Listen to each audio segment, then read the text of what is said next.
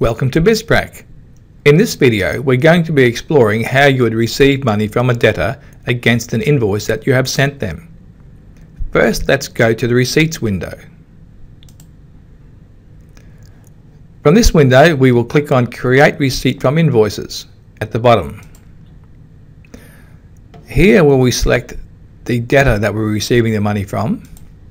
In this case we're going to choose John Smith we're going to put an amount of $40,000 in there because we already know how much we've received. I'm going to let the BizPrac automatically allocate the funds by the invoice date at this time. We'll use the, today's date and the description we're going to use is payment of invoice. When I click the OK button, BizPrac opens a window showing us all of the outstanding invoices for John Smith. Because of the options I've selected in the previous screen, BizPrac has already allocated $40,000 against the outstanding amount on the first invoice. In this case, I have nothing to do except click Create Receipt Now. And BizPrac creates the cash receipt for us for the debtor, John Smith. That's how easy it is to create your receipt from your debtor. I'm going to create another receipt for John Smith. So I'll select John. This time I'll put in $500. I won't let BizPrac automatically allocate the funds. My description again is going to be payment of invoice. When I click OK, BizPrac has not allocated anything it's leaving me to choose which invoice or combination of invoices to which I wish to allocate the money. In this case, if I choose to allocate the money against this invoice, I highlight the invoice and click Pay Highlighted. BizPrac automatically allocates the full amount of the money because it matches what's outstanding on the invoice itself and leaves us still to allocate nothing. Again, all I have to do at this point is to click on Create Receipt Now to create my cash receipt. And when BizPrac creates a receipt from a debtor invoice, it links it to the invoice itself. So if I highlight that cash receipt and go to utilities, I can click on show or display debtor invoices for highlighted entry. That shows me the invoice, invoice date, it was from a debtor, John Smith, invoice number and the amount of the invoice and the receipt amount. Again, I'm going to create a cash receipt, again for John Smith. This time I'm going to put in $45,000. I'm going to allocate the funds manually.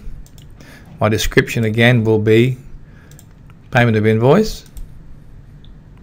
But all of these invoices are far more than $45,000. All I need to do to, out, to pay them is click on pay highlighted. It will allocate only the amount that I've selected to receive now. Or I can clear that amount and I can part pay this invoice. So I can part pay a highlighted one for say $20,000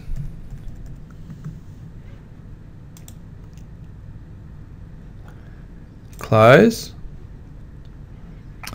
I have 25,000 still to allocate. So all, if I want to allocate against this invoice here, I highlight it and click on Pay Highlighted, which will put the rest of the outstanding money against that invoice. It's very simple to do and very flexible. You can modify any of these payments as you're going through to make sure you get it correct.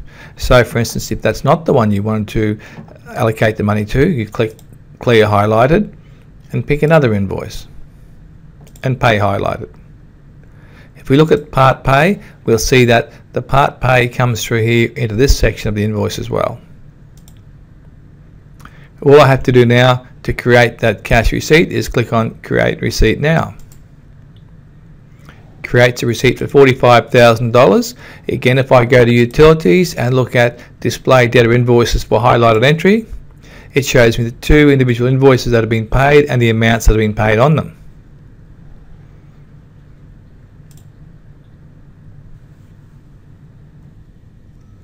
Now sometimes a debtor will pay you more than you've invoiced them for. In this case we're going to create another receipt. This time I'm going to select Stephanie Roll and she has sent us $40,000. I won't automatically allocate the funds. Again I'll select payment of invoice and click OK. Now we see here that Stephanie's invoice is only for $32,896.48, far less than the $40,000 we've received. So what we do here is firstly we'll highlight that invoice and we'll click pay highlighted. We've still got an amount to allocate, an outstanding amount of $7,103.52. In this case it's an overpayment, so we click this option and then we'll need to select the job for it. That's our job for Stephanie. We'll click select. This is to make sure that the receipt itself is allocated to a job. All we have to do now is click create receipt now and the receipt is created. Now when BizPrac creates receipts for your debtors, it automatically allocates them to the same job the invoice is allocated to. So if we highlight this one from John Smith and click View, we see that there are two separate invoices. In this case, they've both gone to the same job. But BizPrac will put two lines in here just to be on the safe side and to be sure that it goes to the correct job. We'll close this window. If we look at Stephanie's,